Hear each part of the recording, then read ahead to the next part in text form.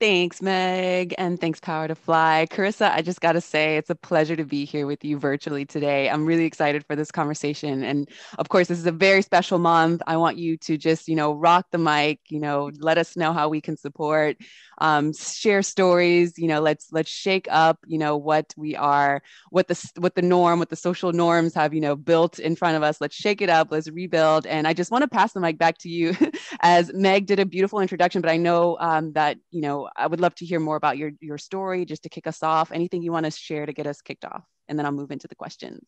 Yeah, yeah, um, yeah. Thanks for that wonderful intro, Meg. Um, Mariella is very excited to also have a chat with you today, and thanks to the to the PowerToFly team for this opportunity to chat with you all today. Um, I think I, the only thing I will add um, in terms of my experience, we'll, I'm sure we'll get into a lot more of the diversity, equity, inclusion work.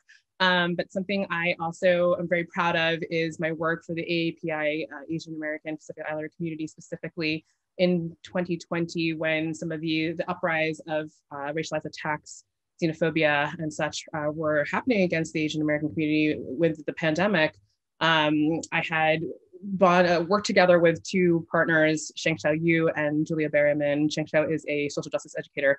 Julia is a um, Julia Berryman is a somatic healer um, and creativity coach, and really wanted to create this holistic program to help Asian Americans really understand our own racialized identity through looking at the historical activist lens for the Asian community again and contextualizing what's going on today um, with this also more uh, emotional intelligence side and piece of like just understanding what's going on and processing as well as healing from again that more embodiment and somatic standpoint. So uh, i was really proud of creating that um, co-creating that with the team um, and being uh, unfortunately fast forward to today where again there's been an uptick especially with violence against our elders um, and being able to provide a space a community uh, a place for learning um, and healing and support. And so I'm also just really proud of that that group and, and that that work that we're doing for the for the Asian community.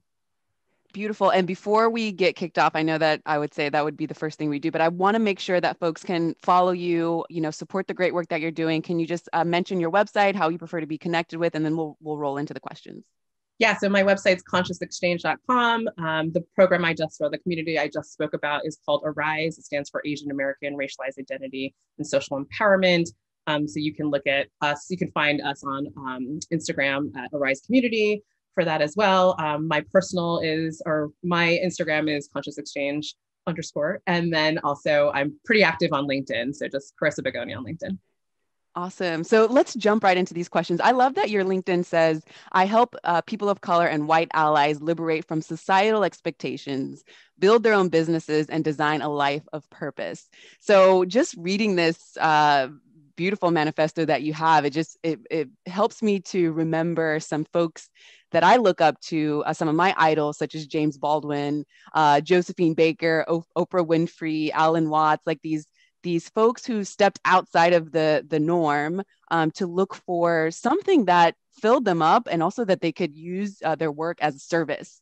Um, so I just want to know a little bit more about your career journey and how you became interested in diversity and inclusion because I feel like if we just had more folks who were, you know, willing and able to to, to challenge the norm um, and from a place of love and kindness as well, that we would have more, you know, uh, we would have more uh, artists in the world to create the technology for example that would help us come together to create you know the, the working experience that you know we can innovate uh, and help people come together tell us more about your career journey yeah, I first of all love that you are bringing up artistry. That is something I'm a very spiritual person and uh, creativity and artistry. I think in my past I would never have called myself an artist or, or creative. Um, and I'm very much starting to claim that today. I'll get a little bit more into that. Um, but thank you for even just talking about that because you're right. I think some of the folks that I'm really uh, admire right now are like Adrienne Maree Brown, Sonya Renee Taylor, and uh, this idea of imagining something different, right? And I think that's we do need creatives and artists to help us dream about what is possible. We're in a very different time in diversity, equity, inclusion than just pre 2020, right? Um, and I think the challenge is, you know, we're so used to this, you know, colonized capitalistic model that um, really when following some of those like Maree Brown and this idea of reimagining what is possible, I was like, yeah, we're just living someone else's imagination. So why couldn't we recreate that? But that's really hard right now. And I think it's going to take the creativity of the artist and that again, that in um, just like creativity to to think about it differently um, and that's a lot of what i am pushing folks in the dei space to, to think about as well um, but in terms of my own journey uh, I, I want I say that I fell into this work. I and really not really because as a spiritual person, that you know that's not entirely true. I think there things happen for a reason. I believe that, um, and I am grateful that I believe that I found my calling and my purpose relatively early on in my career, if you will um, and have just been really following that instinct for, for some time now. Um, but I think a lot of people who get into diversity, and inclusion work, um, it's very personal. And I think a lot of people want to do that today. And I, a lot of folks that I know who have maybe been doing this for some time are like, we don't, we actually don't want to do this. It's, it's emotionally draining. It is, it is really hard. It feels like a boulder up the hill and we're starting at negative zero, you know, um, so uh, yeah but uh, the way i got into it more formally is um, i had been doing this work uh, as the head of diversity and inclusion for zappos in 2016 um, and where that kind of came from is I, I had earned my seat at the table prior, a few years prior. I found myself being the youngest and the newest to the company. It was the the, the woman, uh, the person of color. And, you know, I gave my I gave myself a pat on the back. I was like, "Good job, Chris." but I also started to realize I think like any in any workplace, it doesn't matter how progressive that, you know, like where are the other, where is everybody else, you know? Um, and was really looking for just support and in this new leadership role that I was taking on. Um, and so what I, I, had really much identified with uh, uh, in my with my gender identity at that time, and so I really was looking for other female leaders at the company to lean on again and and to um, to just to be in community with. And so I started a women's group at Zappos first when I was still in my my role was was more operational and strategic at the time, and I was running like programming like a, it effectively was an ERG for women, um, just doing some like events, community kind of um, events, and uh, you know, fireside chats and such with like some internal leaders. And it was awesome that I got to just meet again a lot of uh, female leaders at the company who, again, I, be- I developed really deep relationships with. And then over, you know, course of a year and a half or so after kind of doing that on the side, I started to realize like I was kind of bored with doing what I was doing operationally for some time and wanted to move into the human side of business instead of in that operational side. And eventually I ended up pitching uh, to uh, the late Tony Hsieh and, and the C-suite, hey, like I, I think we need a formal DEI office um, and I want to run it.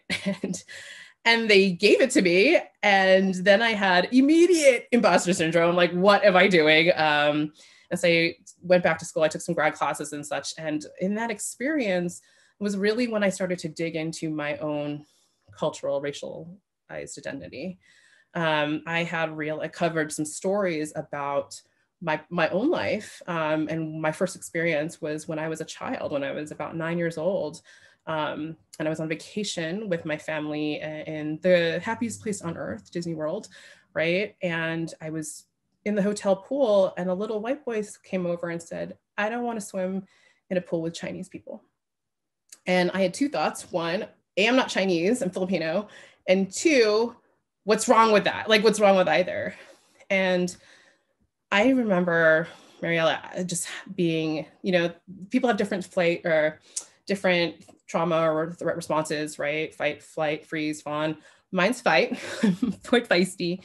But I remember I did freeze in that moment, but I was, the, the emotion I was carrying was rage.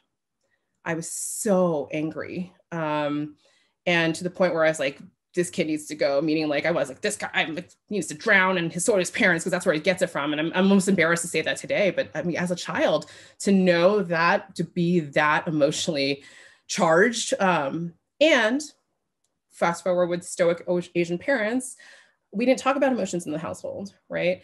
And so I, I actually internalized that my entire life up until probably that moment. Now, you know, I was probably in my early 30s at that point with that role. And so, and so what, 20 years ish of my life as I had no idea how it was actually that incident was impacting me subconsciously. And I was intentionally distancing myself from my Filipino culture. I was intentionally, you know, probably, I think I have, a, I have a quite a, I can have an assertive personality and a bold personality. I wonder sometimes how much of that is natural and how much of that has been conditioned, you know, from that experience of saying, hey, I never want to be othered again. I never want to feel less than again. right? I've, I have visible tats on on my on my arms, and sometimes I roll those things up. I drop my there we go. Yeah, here's my New York skyline. But you know, some of those peacocking things, right? To compensate for, like, again, I don't ever want to be in a position where I'm seen as other or less than, and maybe overcompensating in some ways for that. So um, that was some really interesting kind of revelations in my journey. And then even starting from that point, right? Even looking at, I yes, I had the formal role in 2016, but I had been doing this for some time. I want a I won a national contest with MTV. This thing was called For Your Mind. I think I was like in sixth grade or something when that happened. And then I started a multicultural club in my high school. I was part of, I interned at the diversity, equity, inclusion office in my college, in, in university. Um, my first job out of college at Macy's, I was in the buying offices with, you know, they mass hired, they had done um, like a merger and they had mass hired a bunch of essentially folks out of college. And I had a role, I was surrounded by a bunch of 20 year olds and they were launching these ERGs at the time. And I started an ERG for millennials before millennials was even a thing, or even a term, right? So I, yes, I have been doing this again informally, maybe only for what, five ish years or so, but this has been following me my entire life. And I only really became conscious of it because of that role. And I'm so grateful for it. And then I said again, uncovering that this is a mission, this is something that you were born to figure out and, and support people with. Um, and then fast forward again into the work I'm doing, particularly for the Asian community. You know, when when in 2020, when um, these attacks were starting to happen again, it really triggered in me. I was seeing people my age, my friends, like talking about their racialized experiences now. I never used to hear it. It was just me who was always like, mouthing off about like the racism that I experienced, right? Whether that was verbally in the workplace and discrimination, or lastly, unfortunately, I, I was physically attacked. Um, and so, you know, here I am talking about all this, and now I'm seeing my friends talk about it, and that was deeply painful. But more, even more painful than hearing my friends starting to vocalize some of their traumas and experiences from even maybe childhood was now that their children are experiencing it and to hear that their kids were experiencing you know racial slurs and such on the bus or in the classroom um, that brought me right back to my nine year old self. And i was like oh no no no this is not okay you know? And if they if my friends are not prepared to have these conversations because they didn't have like myself to have these conversations with our parents right and then now these children are going to grow up with this and not be able to process emotionally process or um, and, and, and, and talk through this and we're going to continue this generational trauma. I was like, no, we're not. And so I, I created AARISE out of that, you know, um, and so that's that's a little bit of that that journey. This is this is lifelong work, and I I don't see myself um, moving away from it anytime soon. Wow. I mean, first of all, thank you so much for for diving in on your beautiful journey. Uh, I know that folks need to hear this. Uh, as we were speaking in the green room, storytelling uh, is key for uh, just putting a big, beautiful solve on the wound that is what you're saying the trauma of colonization, essentially. I mean, you know, not sugarcoating it at all. Um, and if if folks have heard me interview uh, people on on PowerToFly these days, you know that I, I speak often about digital colonization. So I would love to hear what you think. I mean, because I what I hear from you is you know um, allyship, uh, advocacy, you know, having the initiative uh, to to make space at the table, but also start your own table you know like maybe don't wait for people to say hey yeah okay we're looking for you been looking you know to diversify the room it's like how can I start my own initiative based on, you know, me um, walking through the door of of my past traumas? Essentially, I mean, I, I live in Argentina now, and I love that folks can show up late. Grown ass people can show up late to something really important. Say, sorry, I, my my therapy ran a little over, and nobody judges them. Nobody judges them. Nobody looks twice. But in the states, there's this taboo about like working with things that you and and in the states, look at all of the isms. Look at all of the isms that we have to work through. So, folks, if you learn nothing else from Krista being so transparent and vulnerable and sharing just a piece of her beautiful story, you know it's about turning in and i love that the the, the dei space allowed you to do that um, because I, I, I have so many questions that I'm not even going to look at right now because I just want to unpack a lot of things that you were speaking about. Um, because I, like I said, stories like this, we need to unfold them more and more. Um, I would love to hear your opinion because a couple years ago, you know, the DEI space probably didn't exist. I mean, it exists, it existed, but not in the extent, not at the capacity that we see now. So I see I would love to hear any like, you know, flags that you want to warn people of for, you know, uh, people want to get into this space, but I don't know that people are necessarily willing to do the work that it takes. Like you said, that big boulder that you're starting at negative and you have to push it up and it's, you know, it's a lot of work. I would love to hear you give some tips and tricks and, you know, maybe some things to avoid as you've learned in your experience on, you know, how we can truly move the needle here in this DEI space.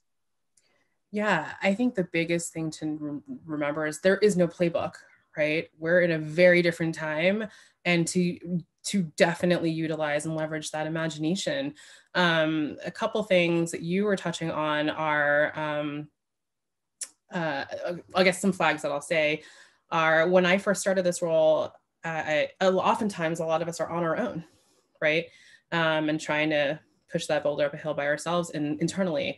Um, so just kind of in terms of how I look at all the work that I do, I look at it having different tables, right? One being the career table. Are you climbing the ladder? Because as a woman of color, very uh, quickly understood things like I, I, didn't see it at first until I was at the table that oh oh this is what the bamboo ceiling is, and that's the bamboo ceiling different from the glass ceiling. You know, it's it's it's what Asians kind of uh, run up against in terms of our ability to move into leadership roles because we're not seen as leaders in a Western perspective, right? Um, and so, but I do think there's liberation there, right? How do you climb? And I do think representation is important. It's not the only thing though, right? The other table then was I did have this experience in diversity inclusion, um, which I think until you're sitting in that seat internally, you don't realize um, I think uh, like a lot of folks now are asking asking me about, you know, how do I get into this space? I was naive about, hey, I'm just going to help people, right? This everyone wants to help people, and uh, the spectrum of uh, ideas and um, perspectives around what equity meant and what justice, or not even we are even talk about justice liberation in pre 2020. So what just equity even diversity even meant um, and getting you know being seen right and getting you know what you're looking for taken care of um, was so large. And I, I, I it had tunnel vision i think as well. And I, would admit that. Um, and something else i think i missed too was not knowing and not having an, an entire community. And that includes mental health and mental wellness support from therapists or coaches or whatnot not just peers. Um, and realizing the importance of that. And i think if you look at you know movement spaces now and activists they talk so much about community care. It's not just about self-care but community care right? Because ultimately um, if you think about what dei means it's so broad. You know what are we what are we doing here right? Like there's no way i can actually be uh, an expert at all things from a cultural identities perspective but and, and and the intersections of that as well but from a functional standpoint, when we're talking about being in in, in a company, I spent most of my time in strategy and operations, right, looking at financials and such. Um, I'm not. I didn't spend 15 years in marketing. I didn't spend 15 years in HR or recruiting or what other you know ways in which we're looking at diversity. So uh, uh, of course there needs to be many people and like you know what i find beautiful today is as now i've solved for that beautiful community support system, therapists, coaches. I have an I joke with my friends. I have an army of people who support me in my in doubling down on self care because this is so emotionally exhaustive um, and physically that I have people to to lean on. Um, and uh, yeah, that community care is so important. And what's been beautiful, even in digital spaces, that the community is all really willing to help each other. There's not this competition, right? We have different expertise, different lenses. Um, and I've, I've, found such support in just in uh, I think when we think we have to move things forward by ourselves, it can be really daunting. But I've definitely been leaning on other folks le- recently and seeing how I feel really safe and really um, comfortable saying, I gotta pass the baton for a second. I gotta take a break. I gotta sit on the sideline and take care of myself and trusting that I can pass it to someone who's going to take that torch up for for for that moment because then we're probably going to switch back right? Um, or otherwise collaborate on, on such. So um, i really do think don't don't neglect that self-care that community care. Um, and then again this idea that there isn't a playbook. There are you know we're beyond unconscious bias. There is it's overt racism at this point right? And so we've never i've never been able to talk so um, openly and directly about specifically about the identity around race right? And so that's um, that's really new i think in this time Absolutely. I hope that we can continue this conversation after this because we only have like a little bit over five minutes left and we haven't even cracked open the, the egg yet to just let everything out. I love it, but we're, we're, we're getting it heated up. I like it. I like it a lot. Um, I also applaud the work that you do, the vision that you have on, you know, making it more of a holistic experience, you know, bringing the community in, um, you know, and not the, I don't even know if this is a term, but I'm just going to say it now this false connection, this false community. You know, I feel like social media definitely is playing a hand on thinking that we are building communities, but really we're just building more separation. Um, so just to be aware of that as well and having that emotional intelligence to be self-aware, you know, to practice self-regulation, empathy, um, you know, to be uh, socially responsible as well. So with that said, I want to kind of switch gears here and talk a little bit about business, you know, and and and taking up space in the financial world as you know people of color. So do you have any advice for BIPOC or female entrepreneurs who are trying to decide what kind of businesses they want to create in this time? And feel free to you know make it very specific for you know asian american month that's happening now. I know that lots of things are you know on our radar but we just we would love your direction on like how we can support how we can be aware how can we educate each other and ourselves just to build a better community? Yeah, I, I feel like, you know, it was divine connection that you and I were put together when I was hearing description of you as, you know, talking about emotional intelligence. That is something that I've been talking about for DEI, even when I was at Zappos. This is why I was very adamant that that was a skill set that I think we all needed, because how am I going to even believe or that there's a lived reality that's, it could be so different from mine that that's actually possible if I'm not even comfortable with my own story right and i think you probably know what we learn in eq it's, it's really a lot about awareness awareness of self our bodies, how we're experiencing, you know, emotions, not just again mentally, uh, but physically, um, and and also seeing how it's playing out for other people, right? That empathy. Um, so in terms of starting you know, starting a business, you know, oftentimes I think people are like, really, I don't know, I know I don't want this, right? But then I ask, well, what do you want? Right. When we talk about values aligned businesses too, they want to do things something that's meaningful in their career or start their own their own um, their own business that again is values aligned and i ask okay well what are your values and often i'm met with a blank stare like uh you know sort of know, uh, maybe but and follow up that with carissa i've i've actually never spent a lot of time to even think about it and yes in a capitalistic like colonized world when where everything is hustle and grind and move fast um, we haven't had time to pause to think about what it is that we really want. And so the first question, how do you even move into a values aligned business? I'm like, what are your values? And it's funny because we all, you know, especially if we're leaving or trying to leave our nine to fives, right? We see our, a lot of our companies, you know, that those values are on our badges, right? They're on the walls and blazoned on our company handbooks, right? So how we and they and decisions are made off of those values, uh, with that being like your north star, right? And so it's no surprise to me when I speak to individuals who are trying to do their own thing and don't know where to start. And it's like, well, what are your values? And if they don't have it, it's like, okay, so it's no, it's no wonder to me that we're feeling lost or confused or uncertain, right? And this is the same thing. So whether you're starting a business or just again speaking up, standing up, a lot of the conversation too, again, for the AAPI community right now is, you know, like I'm getting asked, like, how do I speak up for myself or advocate for myself or advocate for my community? Um, how do I have cross-racial dialogue with folks? And like, okay, right? Again, the awareness of self and stories and what's what I really believe, hey, it, our our confidence comes from conviction. And conviction comes from a deep, deep knowing. And that knowing comes from awareness, right? So again, we take it back to EQ. It's I, I take people a lot of my programming, a lot of the work I do initially with clients, both group companies, and I actually just came from a company workshop that I just conducted and I take people through this, and it seems really fuzzy and introspective and kind of like, what, what's going on here? Like, like you're going to tell me how to power pose or something, and and how to, you know, do my TED talk. And I'm like, listen, you have to go internal first. You know, we are so quick to say, hey, these are the strategies we need to implement. Hey, these are it's always outside of ourselves, right? What's the tangible and tactical and external things we do? But a lot of that is driven internally, and we skip that piece and I, am really asking inviting people to come back to that that inter, internal drive what are the stories what motivates you like i said if i didn't know what was going on uh, when I was nine and I didn't understand that story, I wasn't aware of that story. How, you know, what do, do I think I would have that same confidence that I do today? No, I don't. Right. And I could, I unpacked all those different stories from now or from then until, you know, until today. So yeah. Beautiful. I love that you're the the reflection the reflection part of this is you know to to start from within and move without. So let's assume that someone has done the internal work. Can you take the last two minutes? Uh, we've got about three minutes in total but i'd love for you to you know take your time on this question within the two minute time frame and then we'll continue this later. Um, to go a little external. So let's say i've done the work inside and now i need to you know convince people. So this question reads how can individual contributors convince stakeholders to invest in dei efforts at their organizations? Yeah for me, that was strength in numbers. You know, so I paired up with I when I first started that women's group, for instance, at Zappos, and even when the one I did at Macy's, right? It wasn't me by myself trying to get it together. I did surveys.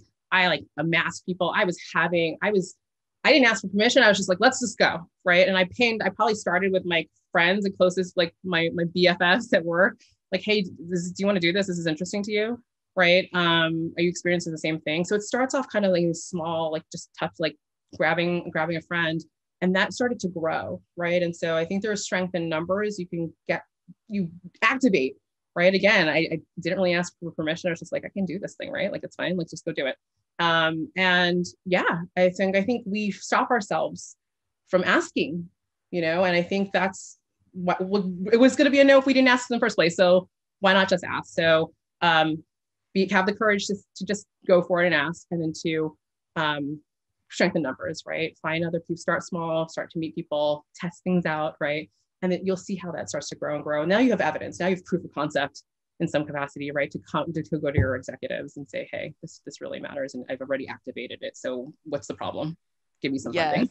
yeah, the, give me give me that funding. Data, we all know that data is speaking these days, so let's use it to our advantage to create more DEI space uh, at the table.